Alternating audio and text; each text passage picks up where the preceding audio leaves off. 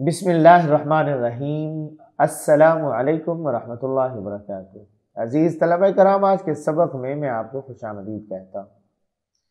आज के सबक में इंशाल्लाह हम सूरत नूह की बारे में पढ़ेंगे। आइए सबसे पहले इस सबक के हासिलात ताल्लुम पर एक नज़र डालते हैं।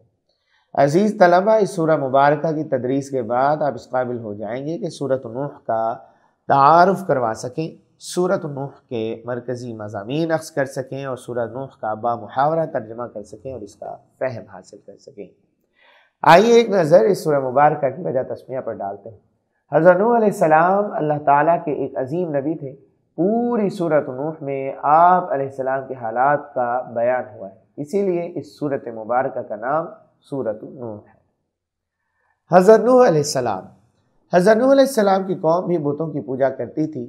इन बुतों के बारे में शैतान ने इनके दिलों में ये ख्याल डाला कि तुम इन बुतों से दुआएँ मांगा करो और उनकी पूजा किया करो, ये तुम्हारी मुश्किल को दूर करेंगे। इस तरह लोग शैतान के बहकावे में आकर उन बुतों की पूजा करने लगे और अल्लाह ताला के साथ सिर करने लगे।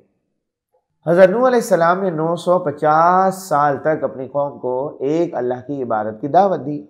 उन्होंने अपनी कौम को अल्लाह ताला के साथ शेर करने और बुतों की पूजा करने से मना किया। कौम की मुसलसल नाफरमानी और उनके अजाब तलब करने पर अल्लाह ताला ने इस काफिर कौम को अंजाम तक पहुँचाने का इरादा फरमा लिया। फिर सलाम की तरफ़ वही फरमाई गई कि आप सलाम की कौम में से मज़ीद लोग ईमान नहीं लाएँगे। फिर आप सलाम को एक कश्ती बनाने का हुक्म दिया।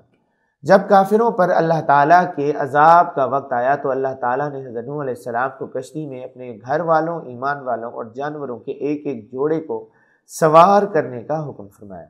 अल्लाह ताला के हुक्म से ज़मीन से पानी निकलने लगा और आसमान से पानी बरसने लगा और देखते ही देखते पानी तूफ़ान बन गया और पहाड़ जैसी मौजें उठने लगी। फिर जब तूफ़ान के अख्ताम का वक्त आया तो अल्लाह ताला ने ज़मीन को अपना पानी निगलने का हुक्म दिया और आसमान को पानी बरसाने से रोका। सुनाचे अल्लाह ताला के हुक्म से तूफ़ान थम गया और तूफ़ान का पानी खुश कर दिया गया। हज़रत की कश्ती एक पहाड़ जूदी पर जाकर रुक गई।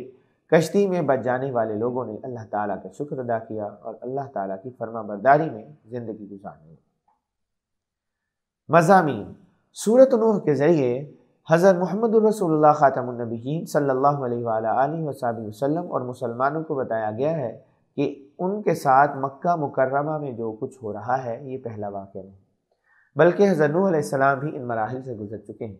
अल्लाह ताला ने उन्हें उनके सब्र की वजह से अपनी मदद अता फरमाई थी। ईमान वालों को भी मुश्किल पर सब्र करते हुए अल्लाह ताला की मदद का इंतज़ार करना चाहिए मरकज़ी मजमून, सूरत नूह का मरकज़ी मजमून हज़र नूह की ज़िंदगी। है अल्लाह ताला हमें भी सब्र जैसी अजीम दौलत से मालामाल फरमाए। आमीन व आखिर दावाना अनिल रब्बिल आलमीन।